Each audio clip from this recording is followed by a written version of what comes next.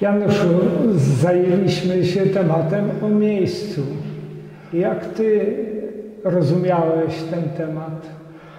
E, Jakubie, jesteśmy w miejscu, którym można powiedzieć, że jest miejscem publicznym. Jest to Galeria Związku Polskich Artystów Fotografików. Na miejscu będzie donieść, że nie jest to miejsce ustronne.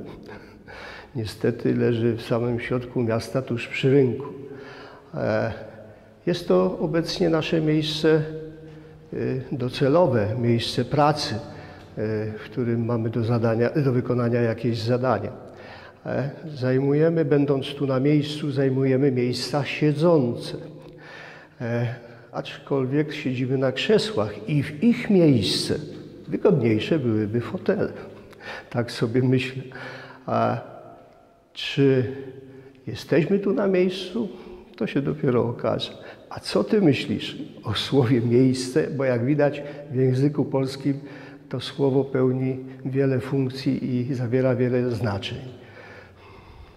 No cóż, miejsce to jest w zasadzie e, najbardziej powszechny i powszedni temat, bo ciągle jesteśmy w jakimś miejscu. Ja myślę, że tu chodziło o to, żebyśmy byli w jakimś kontakcie poprzez miejsca i poprzez fotografię. I y, sądzę, że mm, nie jest to trudne, ponieważ każdy z nas fotografuje zawsze tam, gdzie jest, a nie tam, gdzie mógłby być, czy chciałby być, prawda?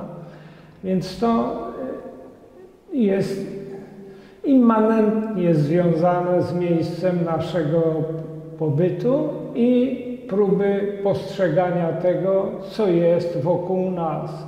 I czy to nas zainspiruje, czy nie, każdy z nas odbiera to po swojemu, tak jak to widzi i chce utrwalić, bo przecież fotografia nam do tego służy. I potem konfrontujemy to przy pomocy galerii. No tak, czyli co? Miejsca są, e, że tak powiem, e, ewidentnym składnikiem naszych biografii, tak?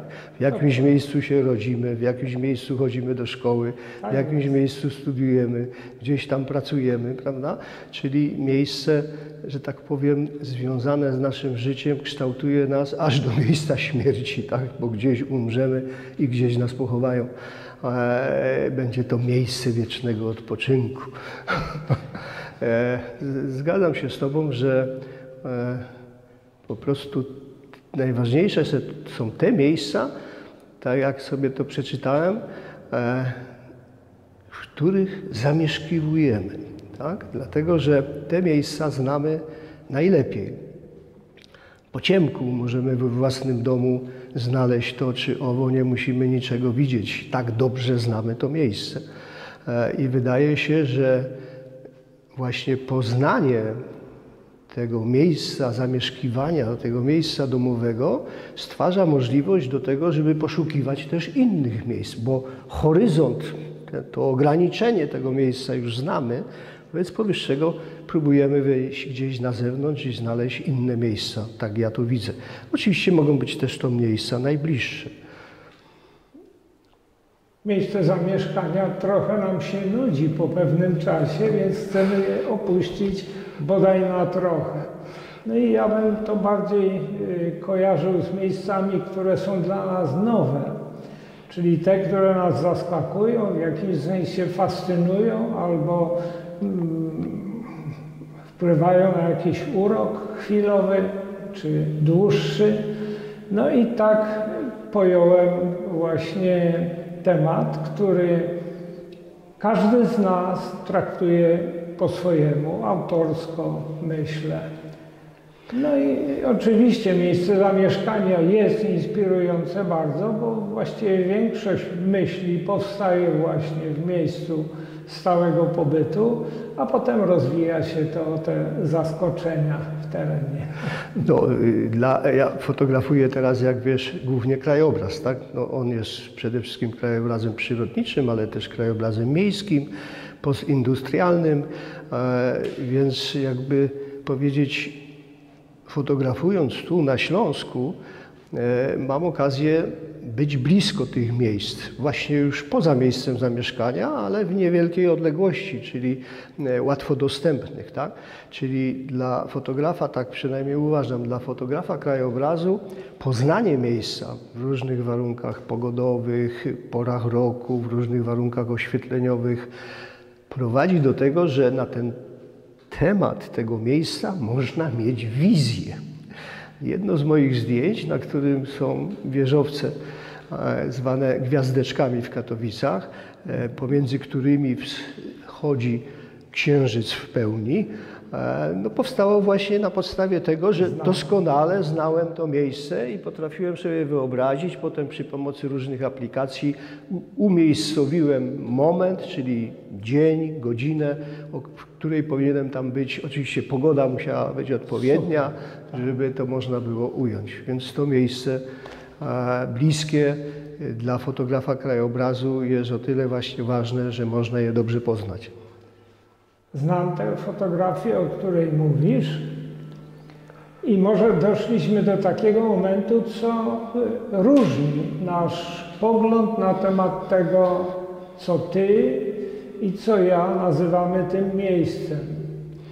I myślę, że zasadnicza różnica, taką ja dostrzegam, taka może bardzo powierzchowna, ale jest taka, że ty robisz ostro, a ja robię nie ostro. Ale może masz zły aparat, Jakubie. Krajobraz, y, jeśli chodzi o narzędzie, to ja tutaj jestem w stanie rozwinąć tę myśl, ale to chyba nie jest ten moment. Może będziemy tak, jeszcze o tym rozmawiać. To był żart. Ale, ale y, niewątpliwie narzędzie warunkuje ostateczny wyraz naszego obrazu albo naszego widzenia, naszego sposobu zarejestrowania tego miejsca, w którym chcemy uruchomić to nasze narzędzie. Także myślę, że, że jeszcze o tym pomówimy. Ale to co nas różni w takim razie? Dokończ myśl, bo zacząłeś, że ja robię ostro, ja wiem, ja robię ostro, ty robisz niekoniecznie ostro. Tak, i to, i to jest... A czy to jest czytelne? Yy, właśnie tutaj jest jakby kolejny element naszej rozmowy. Yy, powiedziałbym, czy musi być czytelne. Fotografia została do tego wymyślona zdecydowanie. Natomiast nasze wyobrażenia, sięgając do historii, nie zawsze są czytelne są mirażem, są ulotnym wspomnieniem. Mówisz o naszej pamięci. Tak, nie musi być wcale ostre. Nasze zdjęcia są bardzo ostre. Basi, fotografie wiszące w galerii są niewiarygodnie ostre. Bardzo precyzyjne. Ja to doceniam i też robiłem takie fotografie kiedyś, teraz też robię. Będą na wystawie, którą będziemy prezentować. A tu przyniosłem przykłady tego, co mnie fascynuje jako wspomnienie po miejscu, czyli dosłownie dotknięcie atmosfery miejsca, w którym byłem. Czyli po prostu zostaje tylko a, e, no, jak gdyby sam widok jakiegoś miejsca przypomina raczej e, jakieś odczucia, wyobrażenia. E, nie musi to być, że tak powiem, tu siedziałem, tam stał kamień, tak? Raczej to, że tak powiem, to jest, jest do, do zinterpretowania dopiero, tak? Jest to bardziej wspomnienie niż wizerunek miejsca. Wiemy, że fotografia nie jest tym, co przedstawiała rzeczywistość, prawda? Nie jest tą rzeczywistością. Twoje góry nie są górami, są fotografiami gór. Oczywiście, no, ale Susan, so, Susan Sontag mówiła, jeżeli oto jest obraz, fotografia, jeżeli tak wygląda ta fotografia, to sobie pomyślcie, jak było naprawdę. To też ta ostra fotografia powinna wzbudzać jednak e, jakieś tam emocje, czyli. Ludzie, ludzie bywali w górach, tak? Czyli wiedzą, jak góry mogą wyglądać, patrząc również na fotografię. No tym się rzeczywiście różnimy tutaj trochę podejście. No u Ciebie te wizerunki są ostre, tak. u mnie nie. Są, yy, jak ja to nazywam, nędznym wspomnieniem, substytutem rzeczywistości. Tak, dlatego że wiem, że one nie są górami i nie są tymi roślinami, nie są zapachem łąk i niebem, nie są, Nie są. ale ja chcę to przywołać. Jakubie, razem nie fotografowaliśmy nigdy e, w plenerze w sensie poszukiwania tych miejsc i też nie miałem okazji zobaczyć różnicy w podejściu takiej ple- plenerowej, praktycznej, prawda? A jak się robi zdjęcia, o których Ty mówiłeś przed chwilą, Ty pewnie nie widziałeś, jak ja fotografuję. Ale co myślisz o tym, że e, współpracowaliśmy mimo tego braku wspólnego fotografowania plenerowego jednak razem. No, pierwsze nasze spotkanie to Witkowice, takie wspólne, bo byliśmy na plenerze i każdy mógł, zresztą obserwowaliśmy to bardzo blisko, prawda? Bo, natomiast sądzę, że nasze główne spotkania y, współpracy w temacie miejsca y, zawierały się w rozmowach w galerii wobec y, prac, które wisiały, wobec autorów, z którymi y, rozmawialiśmy. I to sądzę jest y, główny temat współpracy, bo